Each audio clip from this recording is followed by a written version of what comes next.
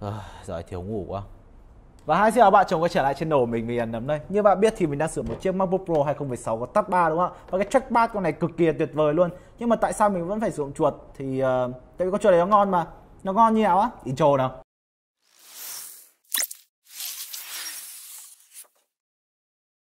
Và con chuột này mình đang mượn tại Cellphone S nhá. Nếu như bạn nào quan tâm thì link mỏm sẽ để phía dưới. Nó có giá thành đâu đó là khoảng độ 1 triệu 8 ấy. Mình đã để sẵn link rồi đấy, các bạn chỉ click vào đó thôi ha. Như các bạn để thấy đây thì đây là một con chuột nhìn trông khá là béo và một số bạn sẽ coi thường nó nhưng mà đừng coi thường. Đừng bao giờ coi thường người khác của ông. Tuy là con chuột này nó có béo, nó có mũm mĩm nhìn nó có vẻ hơi đần độn một tí thôi, nhưng những thứ ẩn sâu bên trong đó là một cả một nghệ thuật đấy. Nó giống như mình vậy. Được rồi, đầu tiên thì với mức giá nào, trong tầm giá một triệu rưỡi đến một triệu tám thì đây con chuột khá là ngon cho những bạn nào sử dụng văn phòng. À, mình cũng cảm thấy khá là phù hợp nhìn cũng có một cái thiết kế đó khá là đẹp, màu sắc cũng rất là tinh tế, không phải nội đúng không nào? Nhưng mà một số bạn sẽ đến đây sẽ nghĩ rằng, uầy, trông nó béo và nhìn đần độ vãi trưởng thì nó có gì hay? Thì nó hay chứ. Để lựa chọn cho mình một con chuột ngon ấy thì nó sẽ không giống như tất cả những thứ các bạn lựa chọn khác như kiểu là phải tìm xem cấu hình trên giá bán nó có ngon không này, hay như nào các thứ thứ. Với chuột ấy các bạn chỉ cần quan tâm duy nhất một thứ cho mình thôi, đó chính là cảm giác cầm. Và khi các bạn cầm, đặt tay lên nó mà cảm thấy rằng ui à, thích thì đúng con chuột này dành cho bạn. Và đây là một con chuột có thiết kế công thái học đến từ Logitech. Nghĩa là Logitech đã mất rất nhiều thời gian để có thể tìm kiếm ra một cái form nào đó cho các bạn đặt tay vào và cảm giác nó tuyệt vời nhất. Thì uh, nó sẽ rất phù hợp cho những bạn nào tay to sử dụng palm grip như mình. Mình cảm thấy rất là phù hợp. Tuy nhiên thì các bạn sẽ cần có một chút thời gian để có thể cho tay các bạn thích nghi. Tại vì con chuột nó quá to mà à, nên điều đó khó lòng có thể tránh khỏi. Rồi điểm tiếp theo đó chính là về phần à, khả năng kết nối. À, thì phần cấu hình con này nó có đâu đó là nó có khoảng độ 1000 dpi thôi không có quá nhiều nó không có 16000 dpi như một số người khác. Tuy nhiên thì với 1000 dpi nó sẽ rất là đủ những bạn nào sử dụng các tác vụ hàng ngày kiểu lướt web này xem facebook này hoặc là làm đồ họa các thứ thứ. Còn gần 16000 dpi làm gì? Bắn game trong mượt hả? Noob và có một điểm mình cực kỳ thích của chiếc Logitech MX Master 2S này đó chính là khả năng kết nối Bluetooth. Nó sẽ có hai loại, một là các bạn kết nối receiver. Ôi, receiver rồi. Và khả năng kết nối bằng receiver hoặc là khả năng kết nối Bluetooth. Với receiver thì các bạn sẽ có một chiếc receiver 2.5 Hz như thế này. Tuy nhiên thì có một điểm yếu đó chính là nó không có chỗ để cất receiver.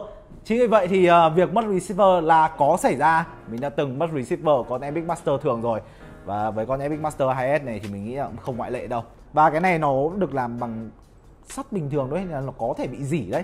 Là giữ cho nó cẩn thận nhé cẩn thận đấy mới có giỏi ạ. Tuy nhiên thì bù lại, nó cũng khả năng kết nối bluetooth và các bạn có thể kết nối bluetooth lên đến ba thiết bị cùng một lúc. Và các bạn có thể chuyển nó một cách dễ dàng bằng một nút bấm. Đấy, ví dụ mình đang một là con macbook của mình nhá. Mình ấn hai phát mình có thể đổi ra con triton 700 của mình này. Mình ấn ba phát mình có thể đổi sang con pc của mình này. Và cái khả năng chuyển của nó cực kỳ mượt mà và thích thú. Chính mình cảm thấy rằng con chuột này tuy hơi mũm mĩm một tí nhưng mà ẩn sâu cả đấy, hiểu không? Chuột béo giả vờ là chuột tầm thường bị cả thế giới coi thường. Dạ. Ơi mình nát quá. Và phải nói cái việc mà các bạn thể chuyển đổi qua từng thiết bị khác nhau là một cái việc gì đó khá là hay. Mình cảm thấy rằng con chuột này cũng không đến nỗi đúng không nào. Tuy là mình là một thằng review sau, các bạn đã xem quá nhiều bài review về kiểu chi tiết này, về cấu hình này, về trải nghiệm với các thứ thứ. Nhưng đây là trải nghiệm của mình. Và mình mong các bạn thích điều đó. Và điểm cuối cùng, đó chính là về phần pin. À, với một con chuột to như này thì các bạn nghĩ pin nó chịu được bao lâu ạ? 10 ngày, 20 ngày, 30 ngày? Xin giới thiệu với các bạn là 70 ngày sau một lần sạc đầy. Và tôi hỏi thật với các bạn là nó trâu cực kỳ luôn đấy à, đúng không? Con chuột quái dị luôn. Không những nó có một thời lượng pin trâu mà nó có khả năng sạc cực kỳ nhanh luôn. Khi các bạn dùng cạn kiệt pin ấy các bạn chỉ cần cắm sạc vào trong 3 phút là các bạn hoàn toàn có thể sử dụng được trong nguyên một ngày luôn và đó là một trải nghiệm gì đó khá là hay với một thằng lười như mình.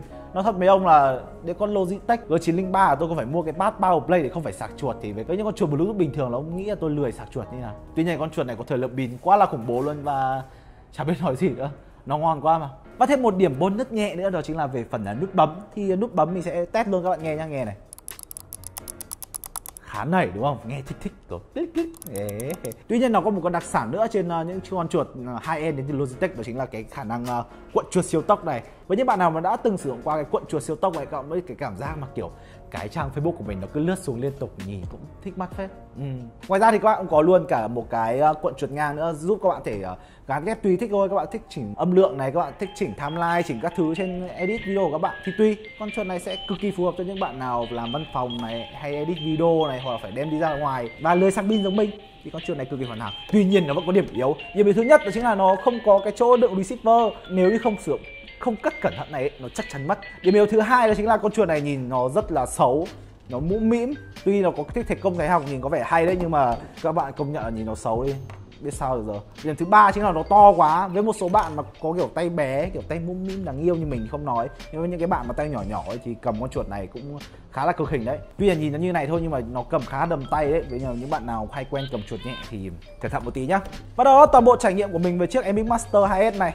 Uh, so với con MX Master ngày xưa mình đã từng sử dụng thì con này trở nên đẹp hơn này thời lượng pin tốt hơn này và kết nối ổn hơn. Uh, cảm thấy con chuột này cũng ngon đấy không đến nỗi đâu. Vậy các bạn nghĩ sao con chuột này? Hãy cho mình biết phần comment phía dưới nhá. Được là mình vẫn thích sửa trackpad hơn. Đợt tới phải đi sửa này á. Thế nhá xin chào lại các bạn.